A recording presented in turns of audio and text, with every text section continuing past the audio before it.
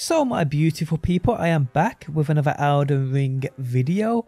And today guys, I'm going to showcase you an exploit which will allow you as a brand new player or a low level player to get arguably the best staff in the game right off the bat.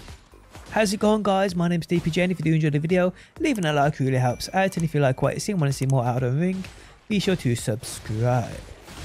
Okay, so if you're new to the game or a relatively low level and you want one of the best staffs in the game for either later usage or just to wield right now because you've spec into intelligence, because you want to be one of those mages, well this video is 100% for you. Today I'm going to showcase to you guys how you can get the Lusat Glintstone staff right off the bat. You glitch into the boss room and grab this thing, it really is that simple. Now the only thing you need is your horse, your mount, your steed, your torrent. That's all you need. So as long as you have your mount, you can do this. It really is that simple guys. So what you need to do is head to this marker on a map right here, the Dragon Burnt Ruins. Now my map hasn't been discovered yet because this is a new character.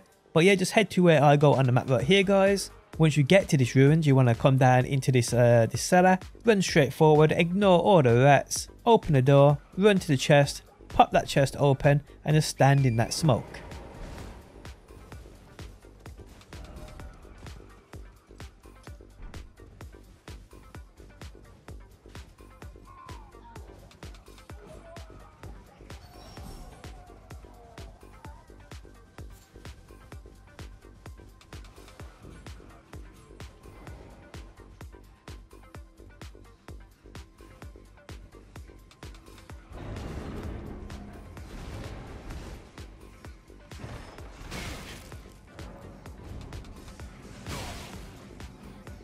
You'll then spawn in at the Sellia Crystal Tunnel, which is where we need to be.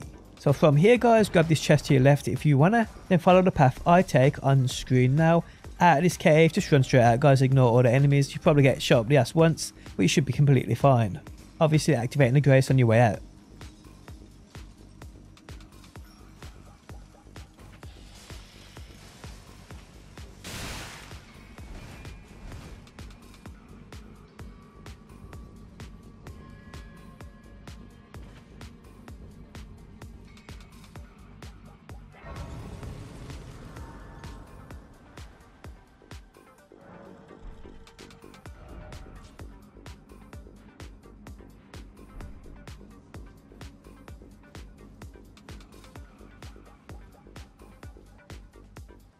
So when you get to this point guys, as you can see this ginormous beautiful design castle on your right hand side and if we go up to it you can see there's actually a seal on the door. Now there's a little uh, like puzzle you have to solve in this area to remove this seal but there will be two bosses behind this one door who you will have no chance of taking out if you're a low level in this game. So what we're going to do guys is we're going to glitch into the boss battle and once we are in there we can kill the bosses as they don't fight back. This will earn you loot, runes, you name it. So we want to come back to this point on the map right here, where we just was as we come out of that cave. From here we're going to test your parkour skills on your horse, as you have to climb up these roots sticking out of this mountain, and then jump over the wall. So do as I do guys, I run up this branch right here, uh, just keep pushing forward, keep pushing forward, and then do like a jump slightly to your right and then move mid-air left and do your double jump. It's not it's not hard to be honest and you'll land up here. Now guys you want to go up one more slightly and be careful here because you can slip back down. And now guys we want to push slightly right and jump onto this one sticking out here. Just like so. Now when we're here guys we want to jump off our horse, our mount.